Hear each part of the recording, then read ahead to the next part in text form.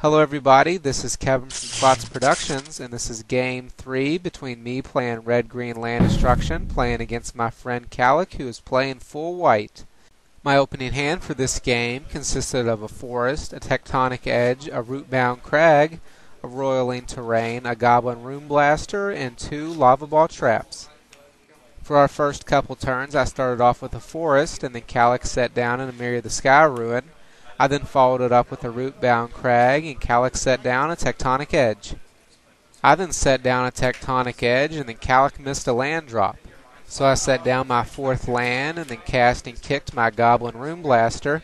In response, Calic sacked his tectonic edge to destroy my tectonic edge, and then the Ruinblaster took out his Sky Ruin, taking him down to no lands. I then attacked Calic for two with the Ruinblaster, taking him down to 18 life.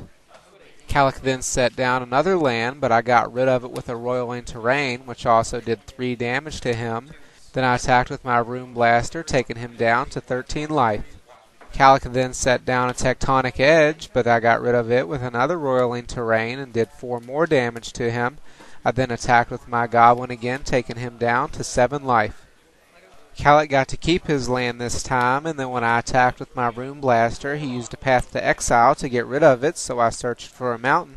Then post combat, I cast a Rampant Growth to search for a forest. Calic then set down a second land and cast a Knight of the White Orchid, and then was able to find himself a third land.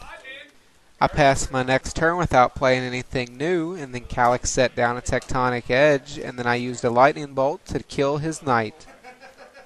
I set down a Rootbound crag on my next turn and then passed it again without playing any spells. Then Calic set down his fifth land and cast a Battlegrace Angel. On my next turn, I then cast a Dragon Broodmother. Then on Calic's upkeep, I got a Dragon token. Calic then removed my Dragon Broodmother from the game with an Oblivion Ring. He then attacked with his Angel, which I decided to chump block with my token. This gained Calic 5 life, taking him back up to 12. I cast a Rampant Growth on my next turn to search for a mountain, and then Calic cast a second Battlegrace Angel and then attacked me with his first one for 6 damage, taking me down to 14 and taking him back up to 18. I was now finally up to 8 lands, so I used them to cast a Lavaball Trap and used it to take out Calic's Tectonic Edge in one of his plains. This also killed his two Battlegrace Angels. However, on Calic's next turn, he set down another Tectonic Edge and then cast a Knight of the White Orchid to search for another Plains.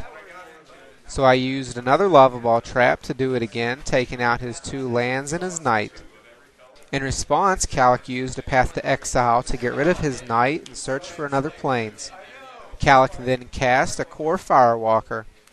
I then set down a Raging Ravine and then resolved an Acidic Slime to blow up one of Calic's plains. Calic then used another Oblivion Ring to get rid of the acidic slime and then attacked with his Firewalker for 2, taking me down to 12 life. For my next turn, I started off by casting an Explore to draw a card. I then cast a second Explore to draw another card, but still had no new lands. Then I animated my Raging Ravine and attacked Calic for 4, taking him down to 14. Calic hit me for 2 again with his Firewalker, taking me down to 10 life. Then post combat, he played a martial coup to make himself two tokens. I started off my next turn by setting down a tectonic edge. I then used the chain reaction to get rid of Calic's two tokens. When I cast the chain reaction, Calic used his Kor Firewalker's ability to gain one life and go back up to 15. I then animated my Raging Ravine and attacked for 5 more, dropping him back to 10. On Calic's next turn, he cast a Baneslayer Angel. However, I had a Chandra Nalaar that I was able to use to get rid of the angel. Calic then gained one life off of the Chandra, going back up to 11 life. I then animated my Raging Ravine and attacked, however, Calic blocked it with his Kor Firewalker. Calic then used his Firewalker to attack my Chandra and kill it. Then on my turn, I started off by casting a Goblin Ruinblaster. I then animated my Raging Ravine and attacked with the Ravine and the Ruinblaster for 9 damage, taking Calic down to 2. Then I finished him off with a Lightning Bolt. This gave me the game and the match.